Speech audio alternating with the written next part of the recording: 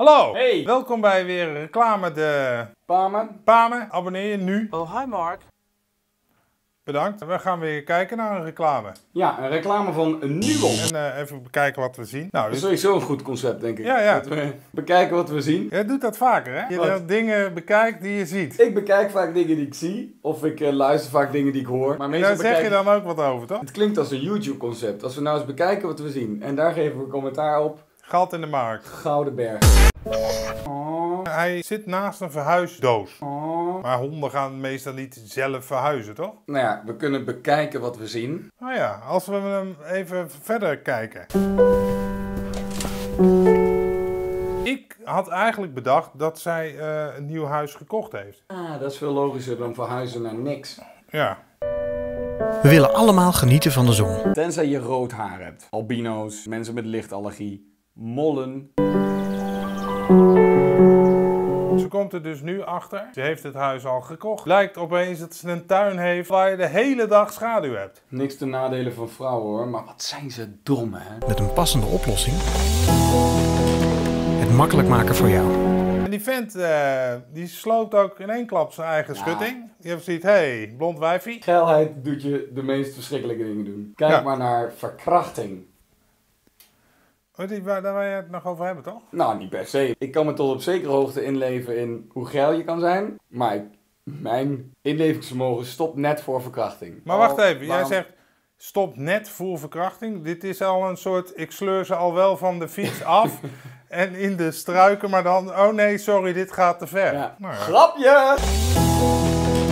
Het makkelijk maken voor jou. Het heeft nogal een effect, die plank. Die zon staat er mega laag. Die hele tuin is afhankelijk van één plank.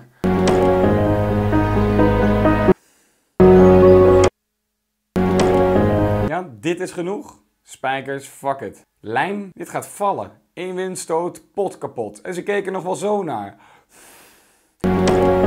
Zij denkt, oh, wat een lieve mannen. En wij mannen weten, dit doen wij niet uit liefdadigheid. Wij denken eh, Volgens mij heeft hij ook geen broek aan onder die, Nee, achter die niet. schutting. Nee. Volgens mij haalt hij die spijker net uit zijn plasgat. Herkenbaar? Want dat is wat je doet als je geil bent. Knettergek. Door te luisteren begrijp je dat iedereen Dat is vaak, hè? Dat je dus eigenlijk denkt, ik sta op score. En dan opeens blijkt dat je een vriendin hebt. Ja. En die zoiets heeft van, doe even normaal. Nou, het lijkt wel of vriendinnen op de loer liggen. Zo ga je dan inderdaad even je schutting sloopt. Of je auto kapot trapt. Dat ze denken zo, oh, er is een vrouw. Wat is er, wat is er, eh, wat is er aan de hand? Wat is er? Leuk. Maar die schutting kan echt niet hoor. We- maar sterker nog, we maken hem wat hoger. Ja. Hoer. begrijp je dat Sowieso weer echt zo'n oude man die vrouwen objectiveert. Hij Ja. maakt gewoon een stuk vlees van dat lekker mokkeltje. Van dat geile wijfie. Van het gale neukspeeltje.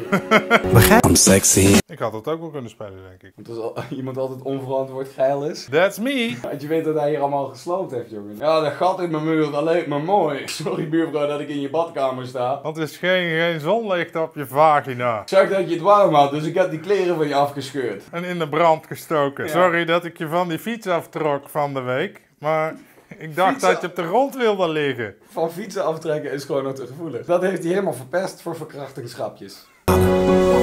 Daarom hoef Ah, zaten wij er even naast. Bekijken wat je ziet, maar luisteren geeft energie. Dus hij had beter met een glas aan die eh, wand kunnen zitten rukken. Ik weet niet of dit een kloppende conclusie is. hoef je bij NUON niet te investeren in de aanschaf van Ja, bla bla zonnepanelen Ja. boeien. Ahoy!